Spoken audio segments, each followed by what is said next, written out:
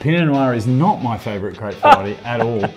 We're talking about trying to find the truth of our place. Mm. Super delicious. But the only skill I'd actually acquired was the capacity to drink a lot. And oh, I thought it'd be a shame to waste such a use- useful skill, so I became a winemaker. That's on the t-shirt. I can see the t-shirt right now. Hello everybody out there. Here is Hamburg, Germany, Wein am Limit calling. My name is Hendrik, but more importantly, we have a guest today from very far away. Some people say it's the country of Oz. Some people say Down Under. And specifically, it's the Baw Baw Shire, which sounds a bit, bit like uh, Lord of the Rings, the Baw Baw Shire, the Shire, the Shire. This is William, aka Bill Downie from Gippsland, which is in which state of Australia? Victoria, so Yes. the southeasternmost part Australia. You're making wine there. Uh, sometimes, yeah. Yes. Have been known to on occasion. Which which uh, which is your favorite grape? Uh, that was not a good question to ask. Okay. Because No. because Pinot Noir is not my favourite grape variety at all. And in fact, the, the true answer to the question is I don't really care what the grape variety of any wine is. Okay. That I, I'm interested in wines that taste like they came from somewhere that were made by somebody who cares about what they're doing. So the, the, the variety is the basically the tool. Yeah. Well, and we haven't put a grape variety on a bottle of wine for over 20 years. Okay. Yeah. It's interesting that you say this. For And me, lots of people for me, this is logical. Most people assume that it says Pinot Noir on the label, but actually it hasn't done for over 20 years. So this was a cold start here. William uh, is known in Australia. I think you're basically known for being um, unconventional in, in many ways, and you have a mindset. Slightly annoying, I think, would be the general. Well, I was trying to be polite, you know, and um, also being very frank about what he's doing. Yes, and you're very much in probably- agriculture. Yeah. Yeah. More in that, that's interesting. What I learned today from you, that you're more in agriculture than really into making wine, or making Yes. wine is just a result of being interested in agriculture. Yes, and and I only I only started making wine by accident. My my ambition, my career ambition in wine was was to be a viticulturalist, a grape grower, not not a winemaker. Mm-hmm. And in fact, I was well into my wine career before I before I ticked over the point where I had spent more time working in the winery than I had in the vineyard. That was six, seven years into my career before I was accidentally a winemaker. Okay. But it was never my intention. What what is the fascination about wine then? After agriculture, of course, then you moved into wine.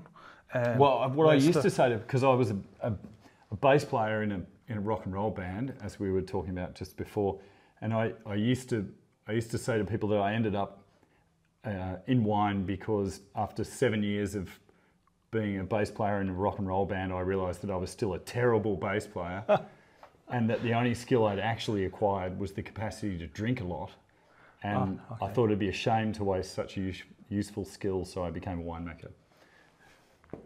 So now you are in an area. I mean, in, in Europe, we basically have our stereotype of Australia. Mm-hmm. Of course, you're far away, and of course, we think of insects, and we think of poison, and we think of other things. Uh, in terms of wine, there is a stereotype for the wines from Australia. I would say, in a, as a general rule, Yes. um, big and heavy, bold, oaky, um, juicy, uh, easygoing. And uh, I think when I, ta- well, I tasted your wines this morning, I have a feeling that's a bit of the opposite here. Well, you know, it's a big country. There's there's a lot that's possible in Australia. It's you know, when you think if you go from one side of the country to the the other, if you, or if you they actually used to have maps that you could buy that had European countries kind of plonked onto the map. Yeah. And there's a lot of European countries that fit inside the the same area as Australia. So Yeah. there's actually a lot that's possible Yeah. in Australia. It's just a lot a lot of it hasn't been explored and and what has been explored often was was explored by people who weren't necessarily looking to find the kinds of things that would interest us. So that the idea of making wine which isn't big, ripe, bold, oaky, um, that that's a, a fairly that's modern. That's new to us. There's a it's it's kind of mostly mostly my generation and younger that that have gone looking for that Yeah.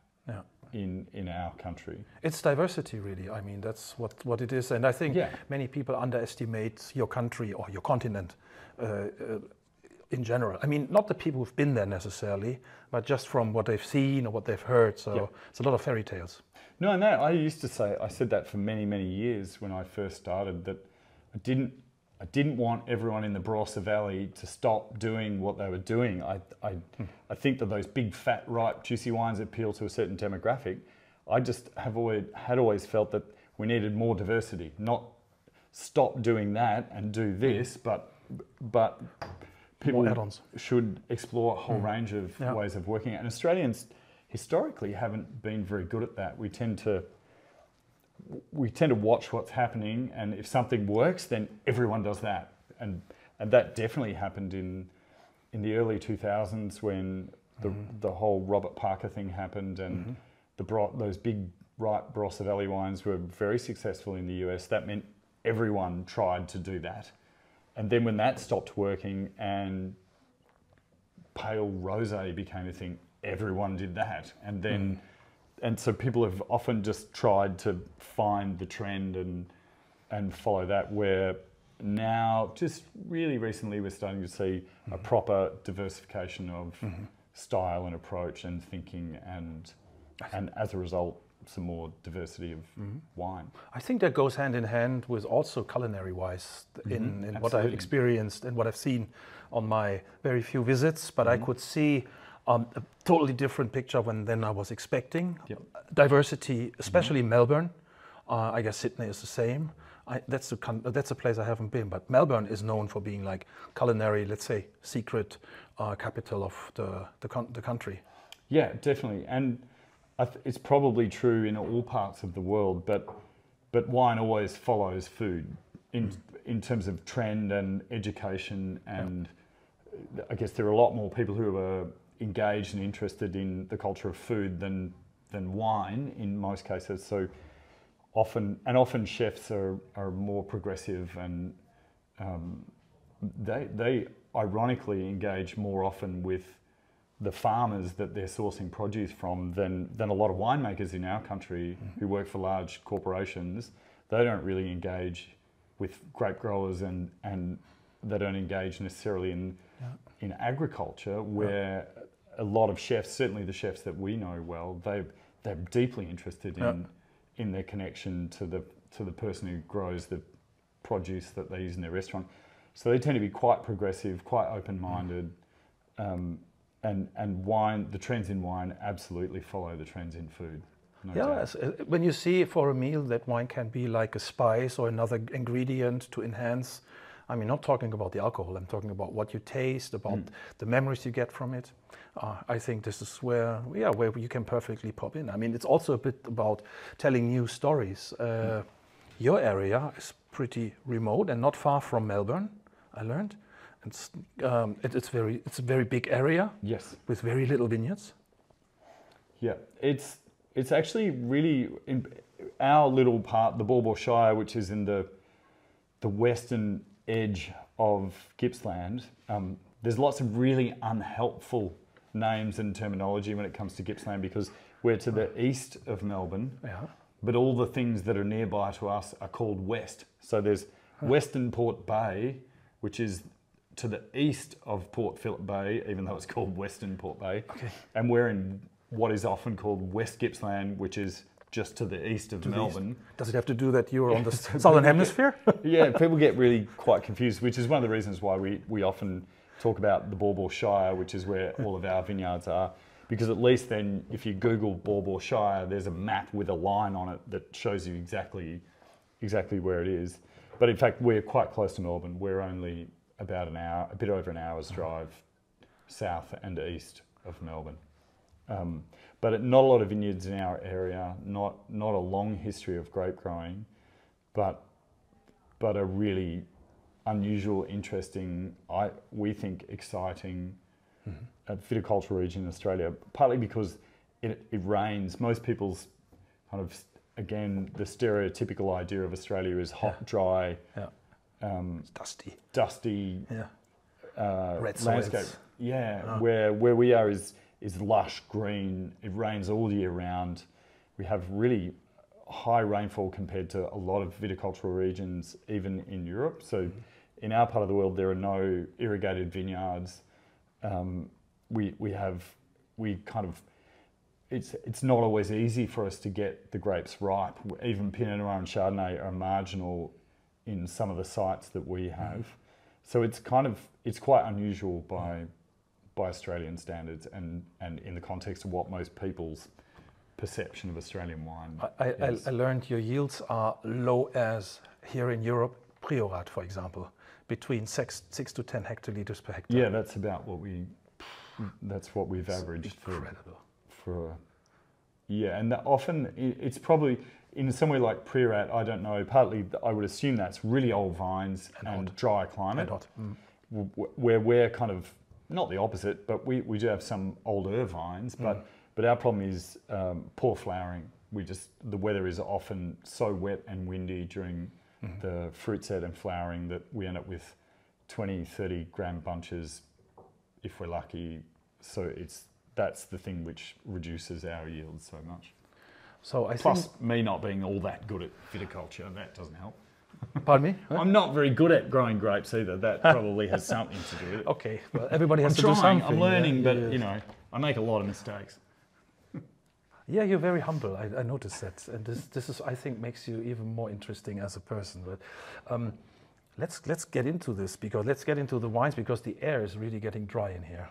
Uh, so I feel almost like desertic. interesting label. Yes. Well, that we allowed to look Are we? over our shoulder? in in your in your favor. which I still can't believe In they're the, there. in the favor of uh, Reg, your friend, yes. Mombassa. Well, I don't know. I I would be a bit shy to to call him a friend. Okay. He's he's one of my all-time heroes, and he makes me incredibly nervous. So I don't think he really has a clue who I am, or Ah. or where, I don't know if he even likes me because mostly I'm kind of fumbling and nervous and saying stupid, incoherent things. you know, we, we saw them and we, we fell in love. I mean, also on the first side, I, when I saw these, they said they're so unique, these, these labels. And I understood like there was a bit of a coincidence, or not, not say coincidence, but it was unexpected out of the blue that you were able to use these. Yeah, it was it was one of those things where I didn't expect. You know, you have a dream and you imagine, oh, wouldn't it be cool if this happened? But you just assume that it couldn't happen, so you don't fully form the idea. It's even- just yes. it's just a wild, stupid idea, and then when out of the blue, accidentally, it actually happens. All of a sudden, it's like, oh, now what do I do? I didn't know this was going to happen.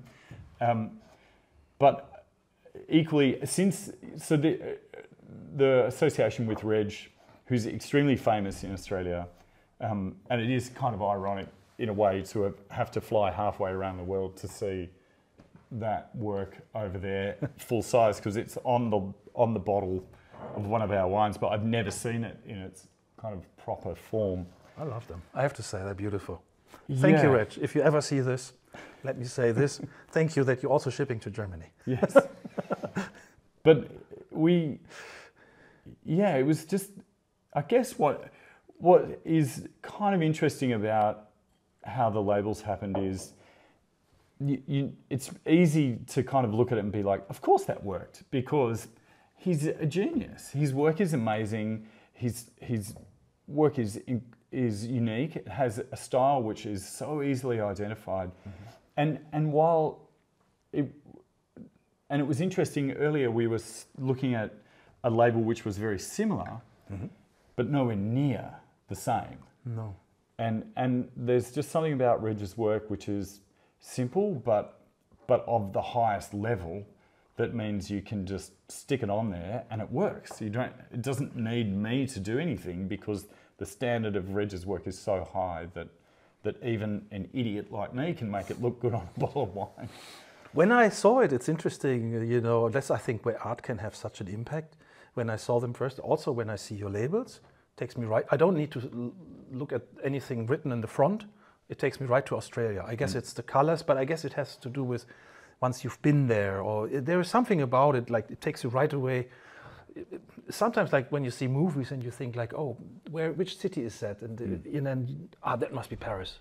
Yeah. It's a bit like this. This is my feeling about it. Yeah, and I didn't. I get I, I really do view them as as not they're not necessarily they're not works of art on the front of a bottle. They're they're a window. You're looking into the wine when you look at that. They're like a look a window inside into the inside of the bottle, which uh, was not intentional. I didn't know that that was how I was going to feel about it when is we. happening.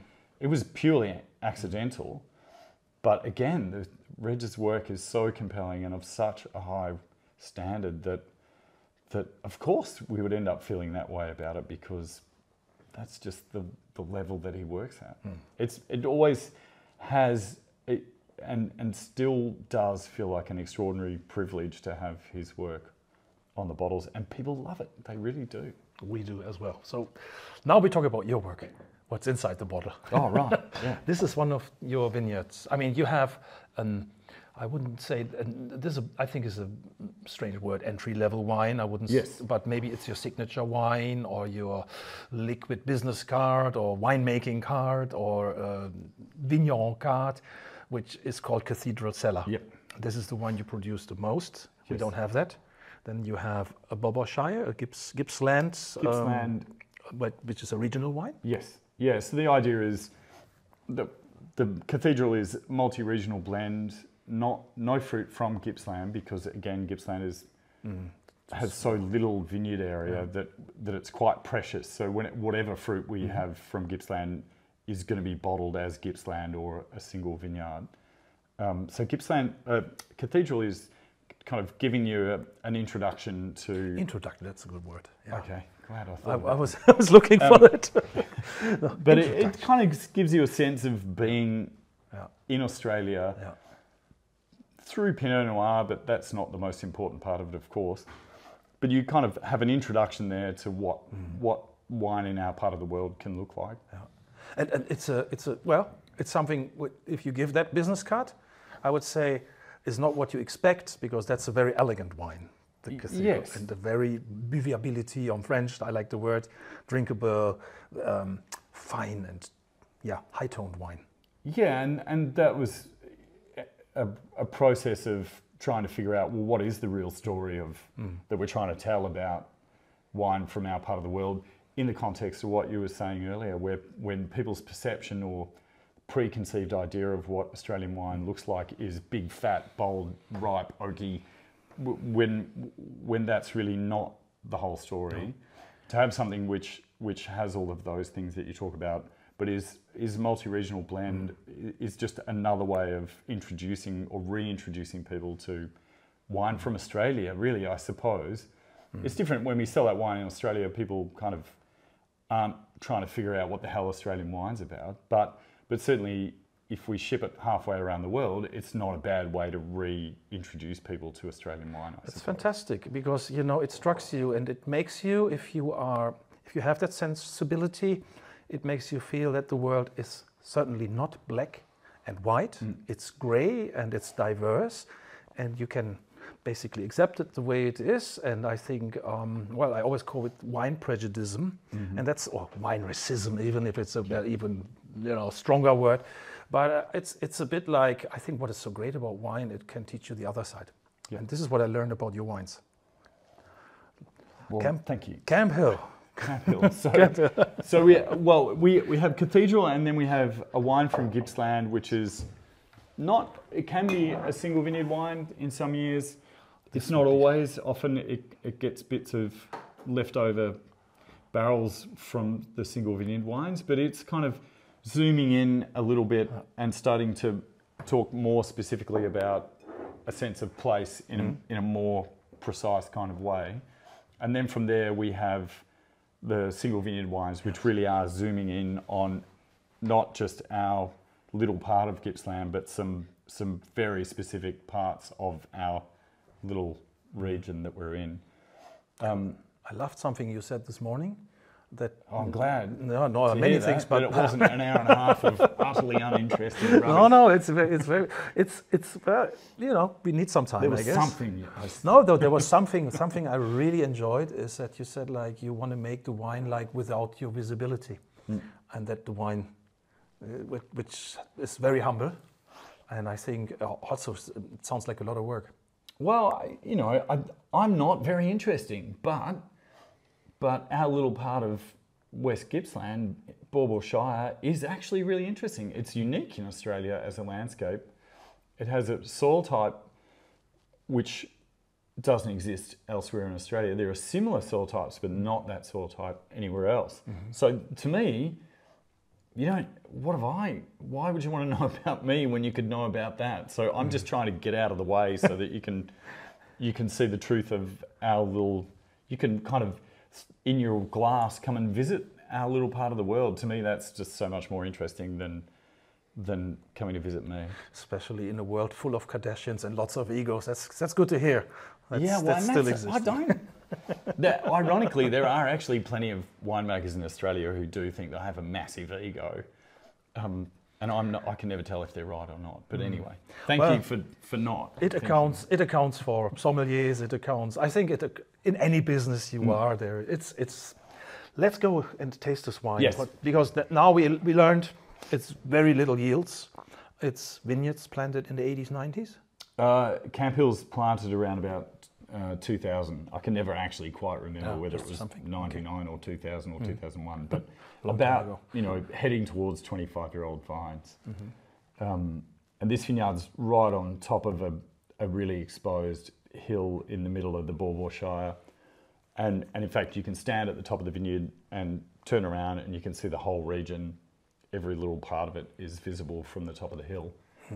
Um, and as I was saying earlier, to me, there's something about how exposed this vineyard is um, and what that, what that does to the vines, both in terms of sunlight, air movement, humidity. Uh, it's quite it's quite different to some of the other parts of the Baw Baw Shire, which which are more sheltered, um, get less sunlight, but they're at lower elevation. There's something about how exposed this site is, and in some ways, you would say you would think, given this gets the most amount of sunlight, that it might be the most intense and concentrated wine, but in fact, it's it's the most delicate, fine, elegant, um, lifted of of the single vineyard wines. Um, I like the brightness in it. There is something like it's really like this red fruit. I, I understand you're not the biggest fan of wine descriptions, especially when it comes to fruits and spices. You said you leave that to the sommeliers or communicators. Yeah. But but this lifted. But I mean, for, for at, at some point, we when you talk about wine, of course you have to use certain vocabularies, and they basically just stand for something. But hmm. I find this very bright, and it's not based on tannins. This wine, well, there's tannins, but it's the, tannins are super fine, silky. It's based basically built up on acidity, which is like a linear thing. So hmm. wow, you get a big, fr- you know, freshness, fruit. You get like ethereal smells, especially in the nose, and a somewhat, what I'd say, rustic, not rustic, I would say, but it's an earthy damp. It's an earthy Yeah. damp fla- flavor. This is all I get. I hope that's okay if I if I describe the wine to that sounds good extent. to. Yeah, you can Uh, write the tasting I- I- notes. there is no. like. there's no blueberries, and then you know all this. No, there never is in this wine. It's it's always about those high toned, floral, lifted um, flavors. It's it's never about deep, dark, rich fruit. That's that's just not the the place. And if we we're standing there on top of the hill talking about this, it would be pretty easy to kind of give you a sense of why that is the case. Um, super delicious. thank you. Uh, Sorry. yeah, Camp Hill. Hmm? Campbell. Wow. Um, when you when you mentioned um, this morning, well, first of all about about the site, and uh, this is something like where you said like it's a bit like you know getting a rope in your hand, like you're looking for something which is maybe the the sense of your life, your mm-hmm. working life, what you want to play, and after a couple of years, you said you found wow, it's working. It's like you are able to display this kind of terroirs or the notion of terroir, where maybe not for Australia, but only for France. But there is something where you can really distinguish these wines and they show the place where they're from, sense of place. Yes, yeah, and that is when I first became interested in wine, it was because of that. And I don't I have any, I've never been able to quite figure out why why I even knew that that was a thing or or how I kind of found that idea, but it it, it popped up very quickly, mm-hmm. and that that's absolutely what drew me into wine is the idea that you could be transported to another place at another point in time. That that was just straight away why why I wanted to know more about wine.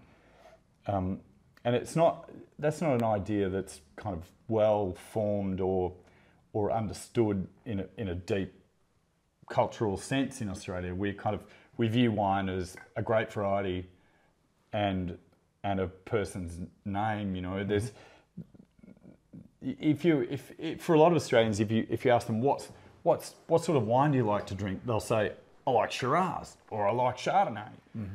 Um, and there's there's something about that way of thinking, which which is really the driver of a lot of thinking in Australian wine. Mm. Um, but but for me, the idea of sense of place is the only reason mm. that you would continue to do this difficult thing that we mm. do. Um, and and I've always believed that that a lot was a lot more was possible in Australia than we had had the chance to see. Mm-hmm. And part of that, you know, there, I had had little insights to it. I worked, you know, my first job was working for Philip Jones at Bass Phillip, mm, which is a very, very famous Pinot Noir producer, and mm-hmm. he he absolutely subscribed to that, and there's no doubt that his influence mm-hmm. did point me in a direction. But not, not a lot of other people were that committed to the idea of wine as an expression of place. There's a lot of people who talk about it who aren't necessarily that committed to it. But, but to, to, be, to have spent 20 years exploring that idea and trying to figure out what was possible, to get to this point where we had these vineyards that we leased. These ones are the leased ones. We do own a vineyard as well. Um, and to, to have the opportunity to see these single vineyards that are within a, a fairly small area, to be able to taste them side by side and see really profound and significant differences between the wines and consistently vintage to vintage mm. the same things. Um, yeah, that's really reassuring. Um, that really does give us motivation to continue and learn and try and do mm-hmm. things better and understand how to grow grapes in in the place where we are. And also, uh, we're kind of. We're in Australia. We're not we're not we're kind of referential in a in a lot of ways. We we assume that that if it's from Burgundy, it's definitely better than anything that we mm. could do. Okay. And we we culturally just live live that kind of idea, mm-hmm. and that's never sat that that comfortably with me. Partly because I think I spent a bit of time in Burgundy. I was asking, yeah. So, but you learned, I guess, um, lots of the techniques and the, for the land, the love for the land, and uh, the engagement. In, yeah. I mean, that's that's a very particular spot in the in the whole wine world, I think. But it also, what it, it taught me that there's no reason that that we can't yes. we can't work at the same level mm-hmm. as as somewhere like that. There's there's nothing so superior about mm-hmm. somewhere like Burgundy that that you can't make wines that are as expressive as that on a kind of detailed small scale way. Yeah. There's no reason why you can't do that somewhere else in the world. You just have to want to do it, and you have to put in the work and and learn by ex- solve problems from first principles, learn by observation. Mm-hmm. You, you, can go and just pick up all those ideas from somewhere like Burgundy, plonk them down in Australia, and make something like a copycat. A copycat, but that's mm-hmm. not really what we're talking about mm-hmm. here. We're we're talking about trying to find the truth of our place, mm-hmm. and and I, I do feel as though if we're deeply committed to that ideal and if we can develop a proper cultural connection to place in a meaningful way, which Australians aren't mm-hmm. so good at, um, then there's no reason we can't assume our rightful place as the equal to all other, you know, in a, in a different way. And, and this is not talking about whether we can make wine consistently that gets 100 points from a journalist or mm. that people think is better than Romanée-Conti, but the idea that we can make wine which has as much to say mm. as, as a wine, any wine from Burgundy, that can transport you in a kind of emotional way to another place in the way that somewhere like Burgundy can mm. do. I, I, absolutely believe that that's possible, and I've it's been reassuring in the last couple of years to finally mm. have a little glimpse of of that possibility through these these wines. And these are not. You know, there's a long way for us to go. We've still got a lot of work to do, but that has been I think deeply reassuring to, to get a bit of a picture into what's possible. I think you're not the only one who thinks like this.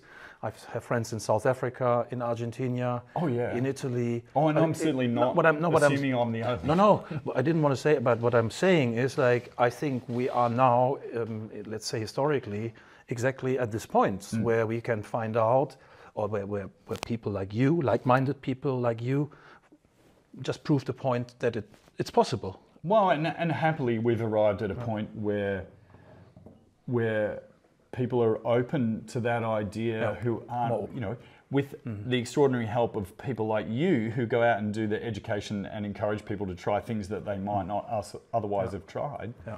We we do meet a lot of people now who from all around the world who've had these interesting experiences mm-hmm. in South Africa or Argentina, you know, through wine, mm-hmm. who who are now much more open to mm-hmm.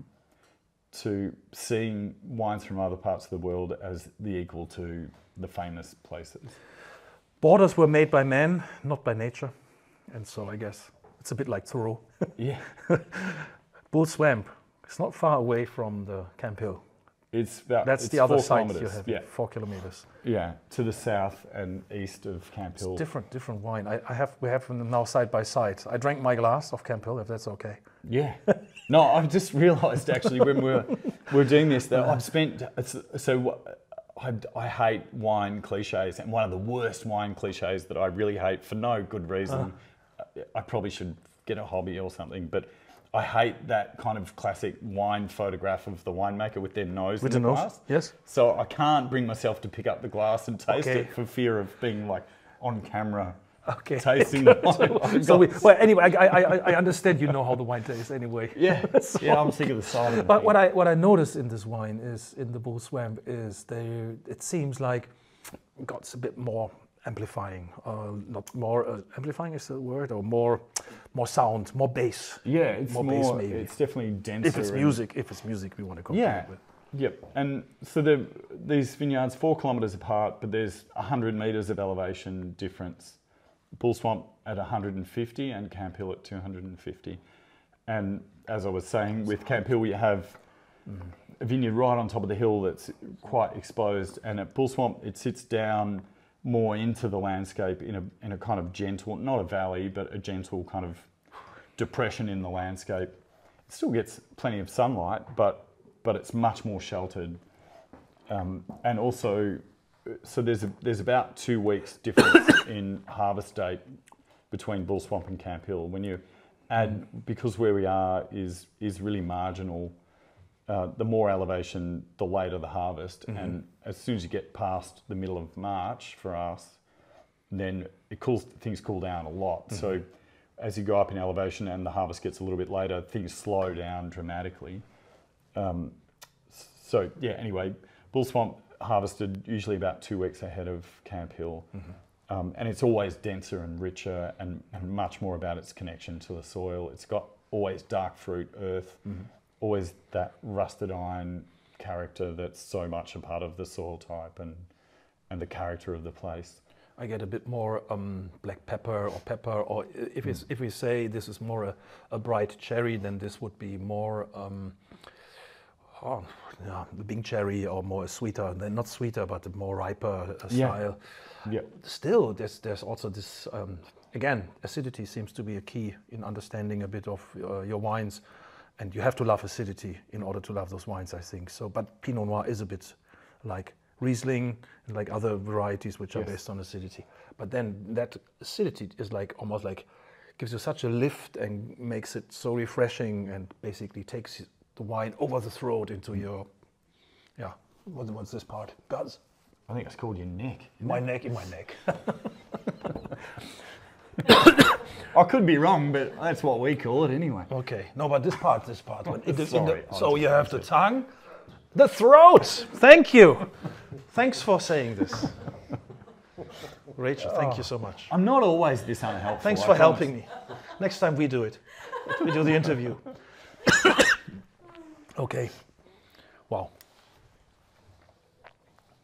Um, yes, Now my my you're choking on it. So that basically is the proof. Well, you know, it's a, it's an insight. It's some kind of compelling evidence, if not not proof, but it certainly gives us reason to continue to, continue, try and to learn and improve. Um, we still still have a long way to go. There's still a lot that we don't know about how the how the vines interact with that landscape. There's there's a lot to do. Um, go, we haven't talked about the techniques. I mean, we don't have to be too technical, I guess, but um, still very interesting. Like, are you, which oak kind do you use oak? Which oak are you using? Do you, which which ones do you prefer?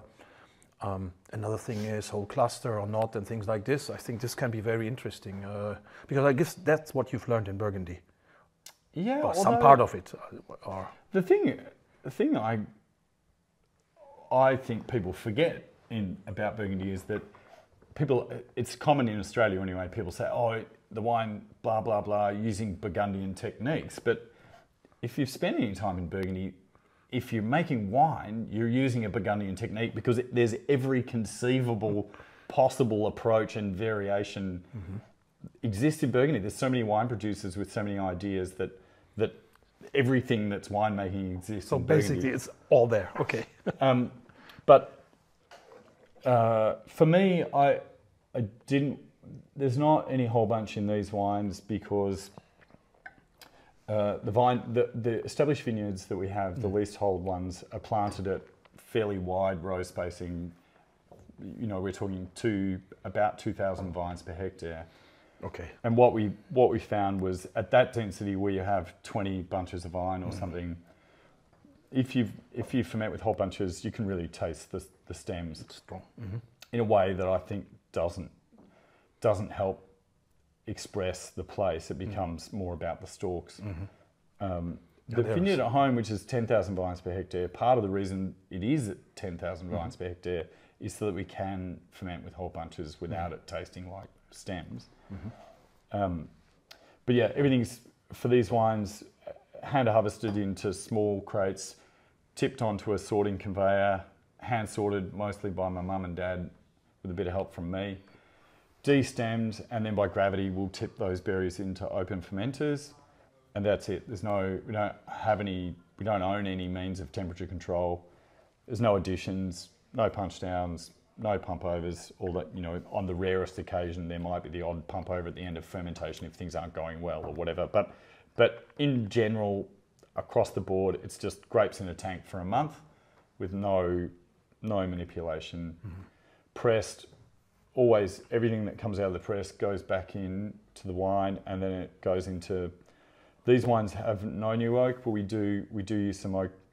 Uh, well, it's in oak barrels, all of which are made in Australia, and not it's French oak, but made in Australia. Um, we do use some acacia as well, uh, but no new oak in the single vineyard wines. The new oak only goes into the next level down. Um, because these are in such small quantities, we don't. It, any percentage of new oak is going to be too much for these wines. And you know, in in if you think about what, all the things I was just talking about, in a way to have to use French oak is stupidity and, and counterproductive. Um, and we, we have been working for for a number of years on a project to fix that, where we we did um, a few years ago make some barrels from blackwood, which is the trees one of the dominant tree species that In grows in the Strzelecki range, mm-hmm. and in the fullness of time, hopefully we'll get to the point where the wines are aged in barrels made from mm-hmm. trees grown in the landscape where we are. Mm-hmm. But in the meantime, we, we we try to we use French oak, but we try to make sure that there's not any discernible oak character in the wine because that would be counterproductive. And then I guess it's not filtered, it's not fined. No. Do, do you sulfur a bit or? Yeah. Yes. Yeah, and that's varied a bit over time. But you know, we started off with fairly 20 years ago with fairly conventional sulfur dioxide levels. They went down to the point where around 2015, well, in 2015, none of the wines had any sulfur addition. Additional. Well, Um, and then we just found that that wasn't quite the outcome that we were looking for, and nor was it the outcome that the people who had been buying the wines for a while were looking for. So, so we've kind of slowly gone back up again to sort of somewhere in the middle, you know, 40 milligrams. yeah, but this is so low in com- comparison. What's what's possible or what's the, the, the standard? Yeah, and, and it was for uh, for me it was trying to understand what the limits are, and then we found the limits, and so then we've stepped back a little bit, um, rather than just saying, well, the book says the limits here, so we just won't go past. We we just kept Mm. exploring what was what, trying to find where the limits were, and then we did find them and. I think that's a very refreshing comment you just made, and I think this is very much. I think when I look at the European wine scene, what we see here, I think at the point a couple of years ago, five years ago, everybody was trying to push so hard. Mm. I think many people pushed too hard and over the limit, mm-hmm. and now I think some people go with that learning curve back to, um, let's say, a little less tough approach and. Uh, also, I think also that's very egocentric sometimes if you're pushing your per- personal limits too far because it's still people who are buying this and drinking it, and so we don't want to disappoint them. Yeah, and for me, it was never about an, an ideological position. It was, it was a position of meeting, meeting someone who made wines without sulfur dioxide that were the most pure, pristine, beautiful expressions of place that I'd ever seen, um, and thinking, wow, that's that's something I need to understand and potentially hope. Well, you know, maybe maybe that's how we can find our truest expression of place. But you know, we never never have considered ourselves to be in the natural wine business. We've always been in the fine wine business, and and this exploration with around understanding the role of sulfur dioxide in mm. wine was about trying to make finer wine, not more mm. natural wine, mm. and not not really not concerned about a philosophical position, just trying to figure out how to make the truest expression Yeah. of place. Das war ein schöner Schlusssatz. That was in German. That, I think that sentence oh, really did figure that, made a actually. Made a, you did, yeah. yeah, your German is coming along after on. after I can tell that was after in German. 16 It's hours. definitely improved. Thank you so much, William. That was a pleasure. I mean, um, that that was probably we, we did a bit, you know, longer than expected. But um, I think your story is so so interesting and so specific that it needs that explanation because still many people are not aware of it. And I'm I'm very happy that you're making with Rachel and your family this contribution to the wine world and show us that there's things possible, which a lot of people we, probably we really never- appreciate your contribution helping you. educate people and uh, if if you if you left it to me to kind of do a video to explain to people what was going on it would never happen so thank you We did it. We Thanks did. for coming all the way. Thank you, Rachel. thank you Thank you, Bill. And um, Right, you're coming. o'clock You, you're coming. You're coming. Uh, um, maybe to Europe next year with your band. possibly uh, Can you tell us the name of the band? the yeasty boys Okay, we're going to watch you then. Are you going to be on television with the Yeasty Boys? i don't think so No. So we have to come to concert. yeah Okay, we guys let you know. Okay. I, I don't think tv and the yeasty boys is not a thing that's not a good idea Okay. No sleep till Hamburg. that could be uh, your, your absolutely that's on the t-shirt i can see the t-shirt right now done See ya. Thank you. Thanks, Mike. see ya